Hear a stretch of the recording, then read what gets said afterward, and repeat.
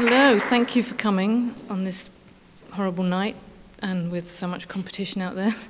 Um, I uh, won't be reading out of this beautiful publication because I just saw it for the first time today and, and I'm not used to the type. I read off this friendly printout. Um, okay. Um, this is not a condemnation, but neither is it a love letter. Um, okay. Dear Egon Schiele, I was first exposed to your work when I was a young club goer and student of graphic design at St Martin's School of Art, hanging out with fashion students, that is, before I had committed my life to fine art, when such creative hierarchies still mattered to me. Everyone in design felt awed by everyone in fine art, and everyone in fine art was secretly threatened by how smart and creative everyone was in design. I remember feeling confused and suspicious about how cool and suspicious your drawings were. Surely art was not meant to be so easy to get, so seductive and entertaining. Your work reeked of fin de siècle decadence, of narcissism, persecution mania, megalomania, and exhibitionism, epitomizing a sick glamour that fashion students and club goers sought to emulate with the aid of eating disorders, makeup, and drugs. David Bowie referenced your self portraits on an album cover, and we all took note.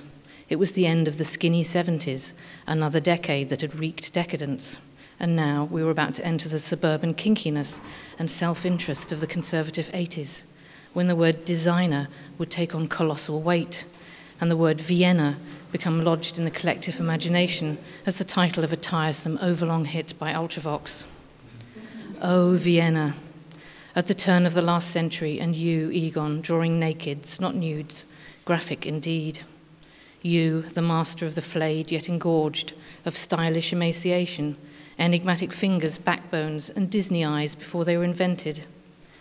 Your very name resonates with your ambitions, as in Egon Schiele to pull her knickers down, except you pronounce it Egon. Damn.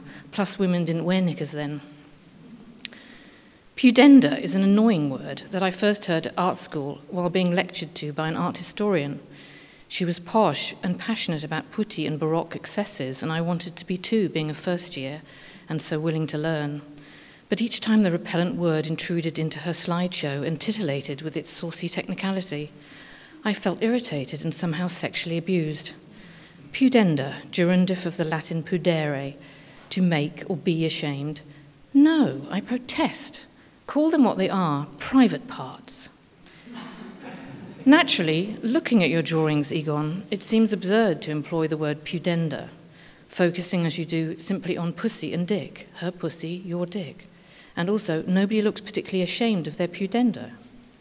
However, it's difficult to tell what the women are feeling from their facial expressions or lack thereof, but you make up for this vacancy by deploying the whole gamut of grimaces in your many self portraits, in which you're usually butt naked, squirming around like an anorexic penitent in your birthday suit, tiny dick glowing like an ember at the root of your contortions whereas the girls are, technically, are generally what is technically called semi naked. There are two memorable self portraits where you get to relax with a giant hard on, one as substantial as a tree limb being supported awkwardly by a naked lady. Um, another, the other, like a baseball bat, with you pointing to it, to the tip, like it needs pointing out. One wouldn't want you coming at one's pudenda with that thing, but thankfully that part, at least, was all in your mind. Maybe it was fun to hang out with other so called delinquent young folk and you, Herr Schiele, and risk a beating for it. Whether it was in Bohemian in location only, the town of Krumau, or small town Neulengbach. Wherever you set up, the pubescent girls showed up, or so it's told. And so I guess it was kind of consensual, nothing dodgy going on, right?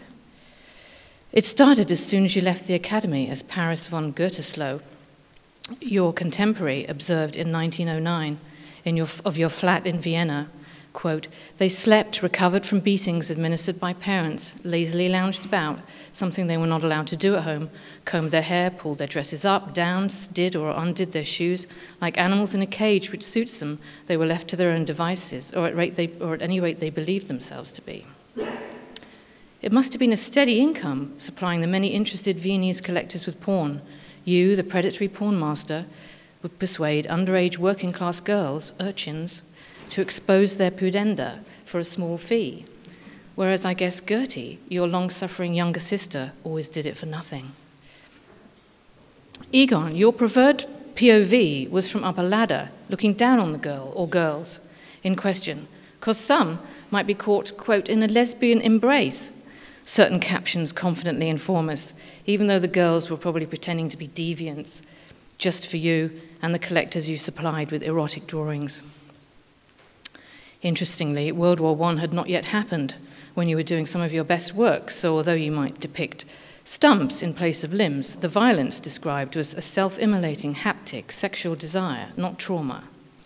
Stumps are enough because it's not about loss with you, it's about too much. I frequently render limbless figures myself in my capacity as an artist. Imagine that. For no, other, re- no other reason that, some, that sometimes, yes, digits are just not necessary. Stretchy leg wank, as a male friend once called it, is that particular grabbed orgasm. That particular grabbed orgasm. You look like you did one 50 times a day. You look sore from it. Skin burdened with sensation, bones for stretching skin.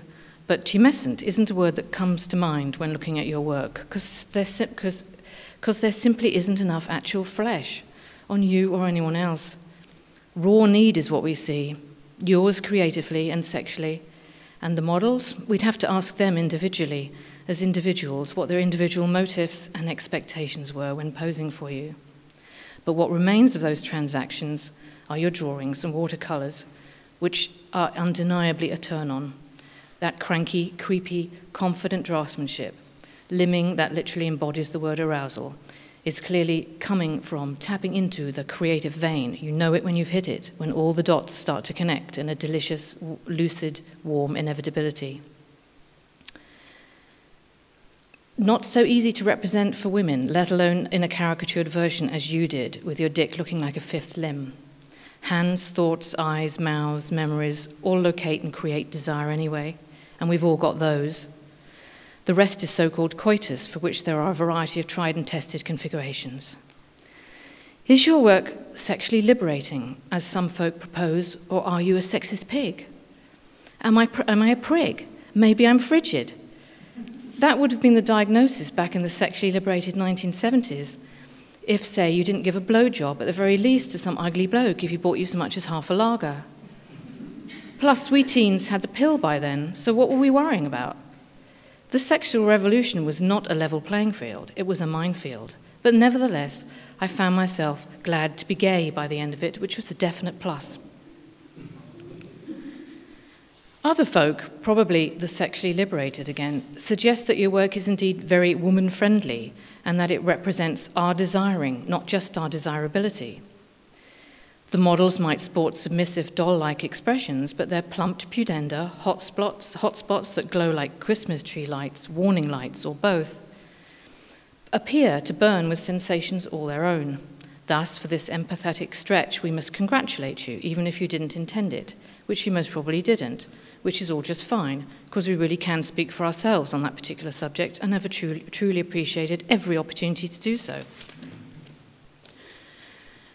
Back to the consensual issue and peer pressure, and you being the peer at these teen sleepovers at your place. You had a huge sense of boundary busting entitlement, Mr. Taboo No More. However, you and your 17 year old girlfriend, Vali Neuzil, were sent packing from Krumau by outraged locals in Neulengbach, you were finally busted for exhibiting dirty drawings where minors could see them, or something along those lines, and escaped lightly with a short prison sentence and a drawing being ceremoniously burned over a candle. Wheel on your contemporary Freud to unpack that image for us. The charges of abduction and seduction of a minor were dropped because the 13 year old had fumbled her story. Traumatized by the whole ghastly experience, you made a group of post traumatic stress disorder drawings with titles like Hindering the Artist is a Crime, It is Murdering Life in the Bud.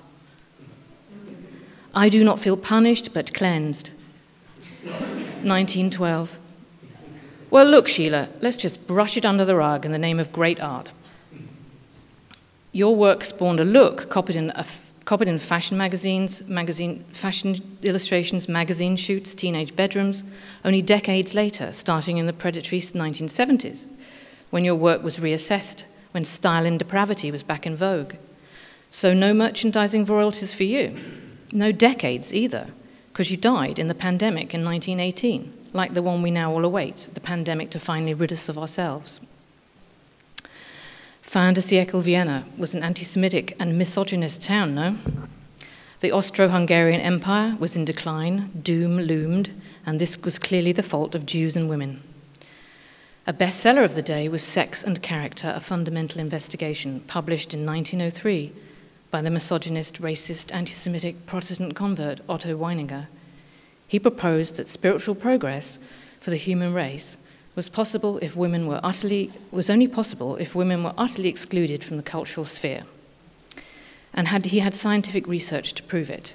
He then committed suicide, thus causing a, thus becoming a cause célèbre his idiotic ponderings, supported by heavy hitting intellectuals such as Wittgenstein, Schoenberg, and Strindberg. Did you read it too, I wonder? Did you discuss it with Vali, Valley or Edith, the, the woman problem, as it was called? Weininger argued that, fem- that the female life is consumed, is consumed by sexual function, by coitus, the act as a prostitute, or the product as a mother. The male aspect, however, is active, productive, conscious, logical, moral, while the female aspect is passive, unproductive, unconscious, amoral, and alogical. By way of further explanation, for anyone who's still listening, human plasma, he tells us, is made up of male, M, and female, soulless particles, W. And everyone has a mix of the two. But some people, notably emancipated, successful women, type women, have a major imbalance of M and use an imbalance of W. Nevertheless, there were many women who made it as successful artists in Vienna, became household names, more famous than you were, Egon. But you know this already because you were there. What you don't know, because you, were, you were dead already, is that they all got consigned to subsequent oblivion by male biased scholarship, and if Jewish, thoroughly erased by the Nazis from the record of Austrian cultural history. By, by, siècle, eh, by the fin de siècle in Paris, epicenter of modernist investigations, women were finally allowed to study the nude models, cornerstone of classical art training, and for the making of important works, like so called history painting. Thus, they could finally participate in the argument, and thus the history of art. To earn a living as a woman artist prior to this, it was genre painting, still life or landscape, like it or lump it, and socially, like everywhere, it was a choice between marriage and career, such as that was. The anomalous Rosa Bonheur had risen, to, risen to international stardom some 50 years earlier. You must have known her work because she was huge. By bucking these restrictions and painting swashbuckling animal paintings, as she couldn't paint, paint nude persons. This after she had sought that permission from the police to cross dress as, in order, in order, as a man in order to mingle freely in those places as such an artist where she, she needed to go. If not the life room for humans, then the slaughterhouse for animal anatomy, and the street, unchaperoned, for life in general.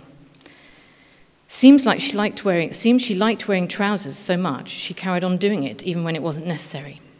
But to be an artist, you do need a sense of complete sovereignty and independence, and the bifurcated garment, trousers, must surely have helped. Plus, she was a dyke, which is what Otto blamed for her artistic ability. With his twisted reasoning, it was her excess of male plasma.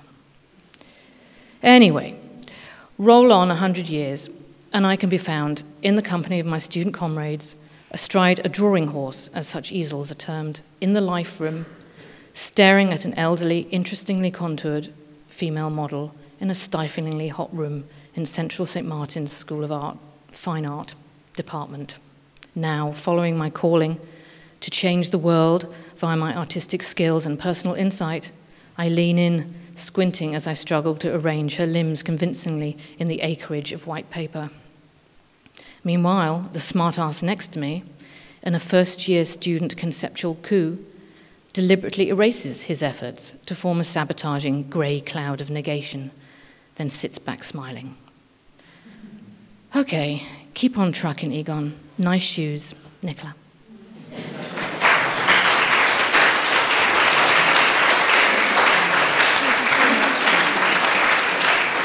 Um, can I just invite Gemma and David to come up and say a few words about the show?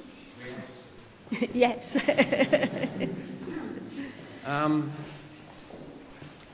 it's very hard to follow that. Uh, I still want to know what a stretchy leg wank is, actually. Um, but, um, but, yes, they've asked us to say a few words about how the show came together. And it, it is bracketed um, fore and aft by, by Egon Schiele. And in, in, in what we tried to do, I guess, was put together a show that we, we felt that if we were curating a show today, which we were, of course, and uh, Egon Schiele was alive, it was a show that maybe we could call him up and, and put him in. Um, there were many things we, we. The show is called The Nakeds, and really that's what the show is about. It's not called The Nuddies, it's not called The Nudes, it's called The Nakeds. And I suppose, in my, in my case, I wanted it to feel like uh, um, a naked motorcycle gang had, had ridden into Bermondsey. And, um, and this is what we saw. Um, I was, we were looking at Schiele's drawings and, and, and thinking, what, what was it about them that is interesting? What was it about them? That, and, and for me, it was, it was really the idea of, of the naked figure in the void as, as such. Um, it's, that, it's that incredible placement of the, of the figure on the page and the void. And what, and what was that void? Was it a, a sexual void? Was it, a, was it the, the aloneness in the universe? And, and um, and so we, we were looking really for, for artists who had represented the, the naked figure, I suppose, in, in, in that context. These weren't narratives, these weren't stories, these weren't, these weren't um, naked people, uh, uh, you know, slumbering in, in, in, in, on, on fine, you know, exotic, um, you know, uh, textiles. Uh, these, these, these were very much figures on their own in, in, in this uh, universe. Um, so, Gemma. Mm. You, you didn't say. No. You didn't say that this. I haven't said much. yes, yeah. You didn't say that this exhibition started um, through a, a, sort of debate we had, a row we had really, about the importance of Schiele's work on paper. And David and I conceived really this exhibition at another exhibition um, an exhibition I'd curated at the National Gallery called Facing the Modern, which looked at a, a social history of modern Viennese portraiture. And David came along to that exhibition. Um, actually, we, we were talking in advance of the exhibition opening, and David said, What's your loan list like? How many works by Schiele do you have? How many works on paper do you have? I said, Well, none. No, no drawings um, because the National Gallery is too big, the ceilings are too high, um, no one can really appreciate work on paper in a space like that. And David was absolutely outraged by this. Aghast. And said, aghast, aghast. And said, you know, Schiele's work on paper, this is what everyone wants to see. This is the work he is, is so well known for. Now, I'm really glad I had that row with David because it was, um, I, I remembered our meeting it was the first time we'd met. And I also went back to that loan list for the National Gallery and included three works on paper. And that was absolutely the right thing to do. Um, so at the opening of Facing the Modern, um, David and I talked some more about Sheila's work, what was interesting about it. And I've been working on modern Viennese art ever since um, 1995, when I started my PhD at Plymouth University, I'm still, no, PhD at University of Birmingham. Um, and I now work as reader of art history at uh, Plymouth University. So I've been working on it for a long time. And one of the um, uh, aspects of my research, um, one of the turns I've taken recently, is to look at Schiele's work on paper and to look in particular at his really provocative images of naked or partially clothed women. And usually when we think about this work, we think about it what, in the context of um, Sigmund Freud, yeah? The birth of psychoanalysis. We might look at Schiele's work alongside um, Freud's interpretation of dreams, alongside his three essays on the um, theory of sexuality. We might consider Schiele in these terms of sex and death, dream and reality. This is what comes to mind when we think of Vienna 1900. And we also might think about Schiele in terms of Gustav Klimt, who is really regarded as Vienna's you know, leading um, draftsman of the erotic and also of the dream. And what I wanted to do in my research was to actually put Schiele in a different context. Because we've all heard of Freud and we've all heard of, of Klimt. But what I don't think everyone here will know is that Vienna at this time was the um, world's largest producer of pornographic photography. It kind of makes sense, doesn't it, when you, when you think about the artwork from that time and place. But you can find um, examples of pornographic photographs produced, disseminated originally in Vienna in private collections as far as Sydney, Australia. So Vienna was the world leading producer, and I wanted to think about Schiele's drawings in this context of pornography, um, of innovations with photography, of the pornographic industry. And this is something that isn't usually, usually done. And my aim in doing this was to not criminalize Schiele. Nicola's spoken very eloquently um, about um, arrest and imprisonment, um, the seduction of a minor, the dissemination of pornographic or obscene material, etc. And I didn't really want to focus on that. My aim instead with this research was to think about how Schiele was interesting because he tested all of these um, distinctions between naked and nude. um, he, he tested these borders, um, thinking, well, what, what is decent and what is indecent? What can I put on display and what can I not put on display? What will someone buy and what will someone have to hide? And he was continually trying in his drawing practice to test these borders between what was acceptable and unacceptable. So this research was very much in my mind when I spoke to David about Sheila's work on the opening night of Facing the Modern. And we thought about um, Sheila in relation to contemporary artists, um, particularly artists working from the post-war period, which is when Sheila's work first really hit the international stage, up to the present day. And we were thinking about these themes of section, sex and death, um, also of exposure um, and um, the explicit of violence and vulnerability. And, and how artists today are still really working with these ideas, with these themes. And this is where the concept for this exhibition came from. Now, as an art historian, I work very differently to David. And so when we decided, okay, we're going to do this exhibition, I dutifully went back down to Plymouth and got into uh, the library and thought, right, how can I think about Schiele's work in terms of chronology and influence and impact? And I thought, how can I, how can I draw a line from Schiele around 1900 through the 20th century. And what would that line look like? And we might stop at the 1950s, 1960s with the Viennese actionists, with Arnulf Rainer, with Günter Brus, um, and uh, then we might go on forward and we might come to an artist like Tracey Emin, um, who is, I think, probably the most open about her indebtedness to Schiele's work on paper.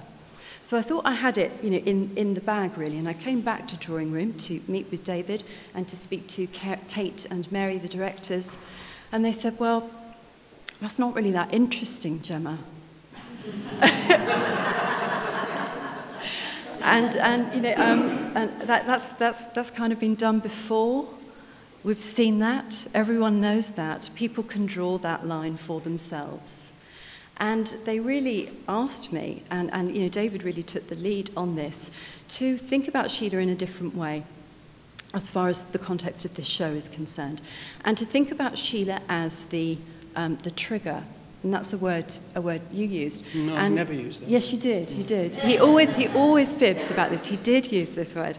And initially, I was really, I was really reluctant to use the word trigger because I don't like its association with, with the gun with the bullet, the smoking gun.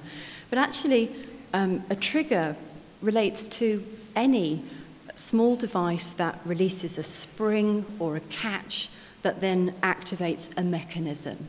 And actually, I think that is a very good description of Schiele's role in this exhibition. So we thought about what came to mind when we were looking at Schiele's work, these themes of violence, of the void, of exploitation, the explicit, etc.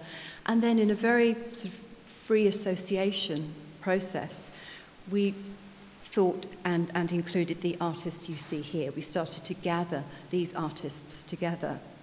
Now, this is a very different way um, of, of working for me as an art historian. There's no interpretation, for example, there are no wall texts. Um, things aren't hung chronologically. Um, and it's been really good for me um, to learn about this more creative um, approach to curating. So I'd like to really thank David and Kate and Mary for um, helping me with that and to help, help me think about curating in a very different way, very different practice. But the other thing the three of them did, which has just been so special, is to introduce me to living artists. You know, I mean, it's, art historians say, you know, don't ever work with living artists because they might disappoint you. Um, you can't put words in their, in their mouths. You, you know, they, they, they do their own explaining. They don't need you. Um, and uh, and, and I, I, was, I was anxious about it at first. What would I say? How would these encounters go? But I was introduced to um, Chantal Joffe, um, to Marlene Dumas and Tracey Emin and Fiona Banner, um, uh, also to um, Georgina Starr, and most importantly, I think for me and for my practice as an art historian, to Nicola, to Nicola Tyson. And Nicola and I had a correspondence over the summer vacation as I was working on my essay for the catalogue to talk about the legacy of modernism, the impact of Schiele's work, and how contemporary women artists grapple with it. Um, so that experience of working with the living has been amazing, and I can't thank Drawing Room enough for giving me that opportunity. So thank you ever so much for coming this evening, and I hope you're going to enjoy the show. Have I left anything out? No, Do you want to I think you, You get I a think you pretty much here. got it. Yeah, yeah. So welcome to the non-zombie show, The Naked. Um, yeah, it's, it's full of, uh, this show is full of uh, exposure, it's full of the body exposed, it's full of shame, it's full of sexual need, it's full of, full of a grasping for what's important in life, but it's also, in a way, it's very sensual. And it's, I think there's an element of glamour in the show as well, which is, uh, which is what I enjoy about it. But thank you all very much for coming, and I hope you uh, enjoy the show.